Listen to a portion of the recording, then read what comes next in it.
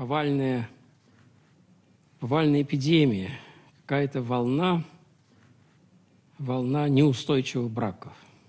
Причем приходят люди весьма, я бы сказал, уже совсем не, далеко не молодые, не, не в 20 лет, не 25 лет, а уже людям и за 30, и за 40, и даже больше.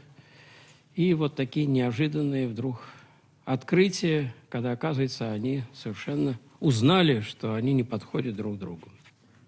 Причем не просто. Причина не в том даже, что увидели, что не подходят друг другу, а большая часть, основная причина в другом – в том, что находит на стороне кого-то.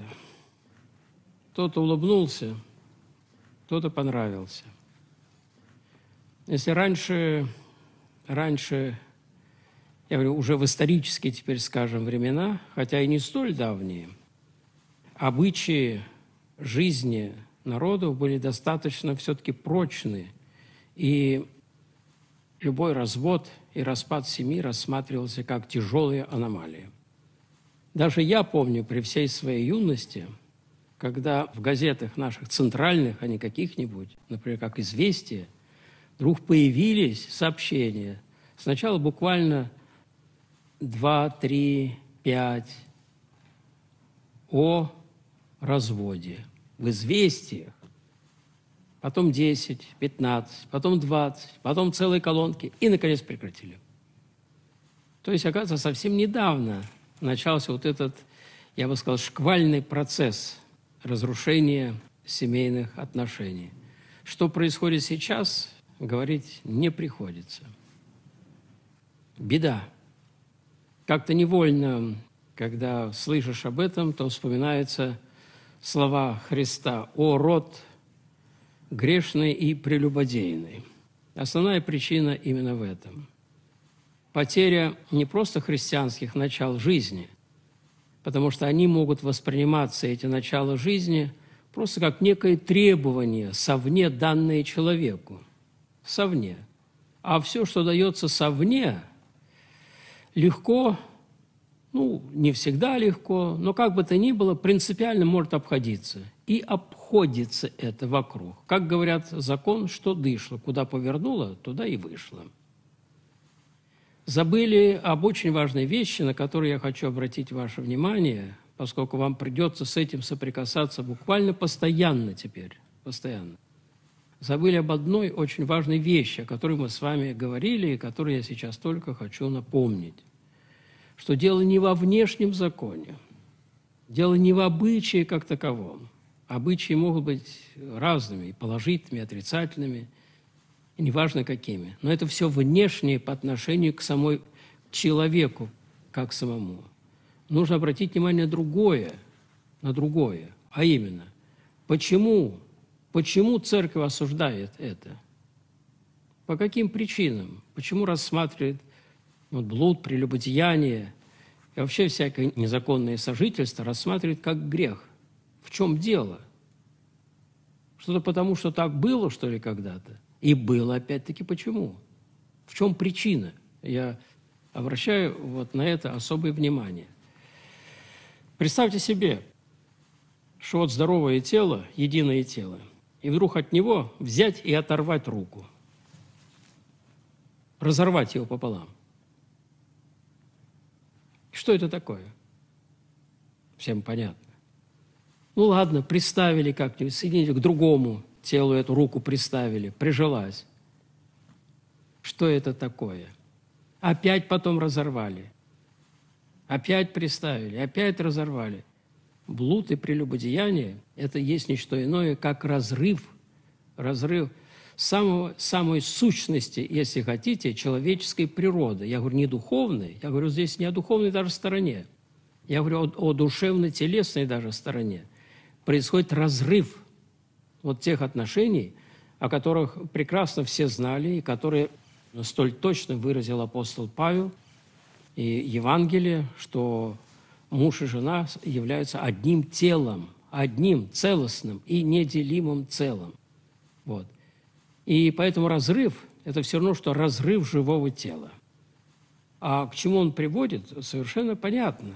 К чему он может привести? К самым отрицательным последствиям для самого человека или для самих этих обоих людей. Разрыв происходит.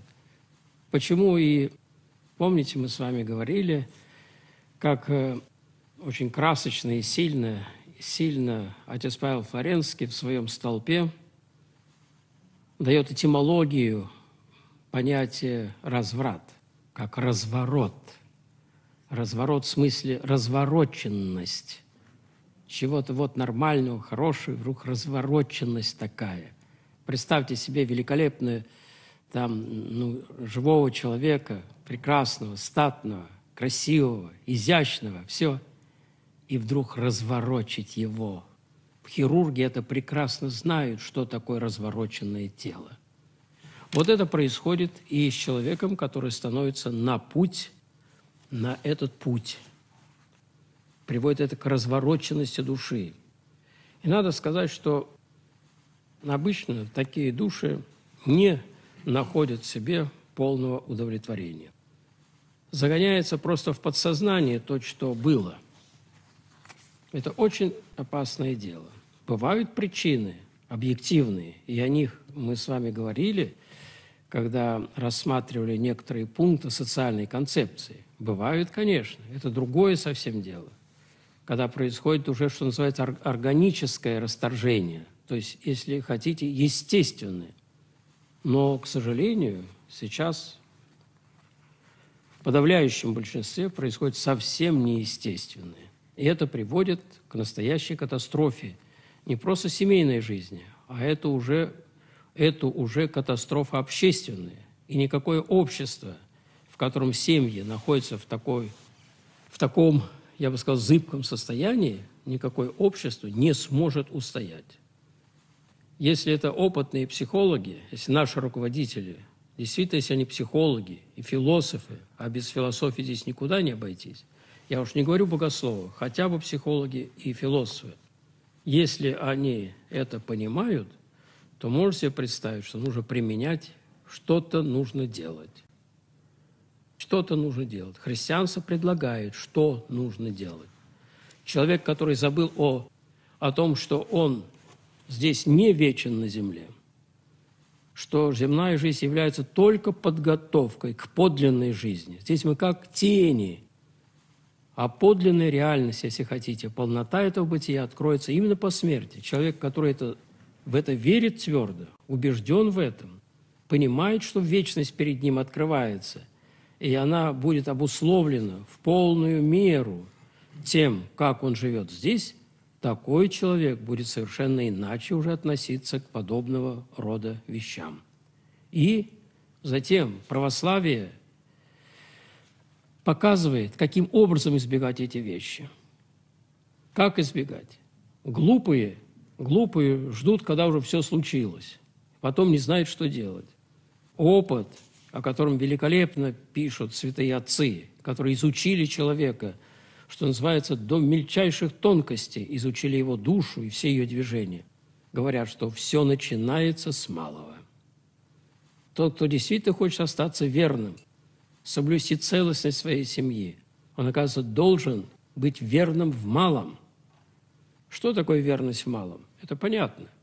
Эти вечеринки, эти застолья, эти пьянки, эти танцы, когда все друг с другом, мужчины и женщины, да, начинают совершенно понятно, что это такое, к чему это приводит. Даже чисто внешние соприкосновения, не говоря уже о, о большем, даже чисто внешние, все это все приводит к чему? Все это разрушает, если хотите, вот эту вот эта целостность того единства, которое должно присутствовать в браке. Только верный в малом сможет, сможет быть верным и в великом. Этого никто не знает. А что особенного?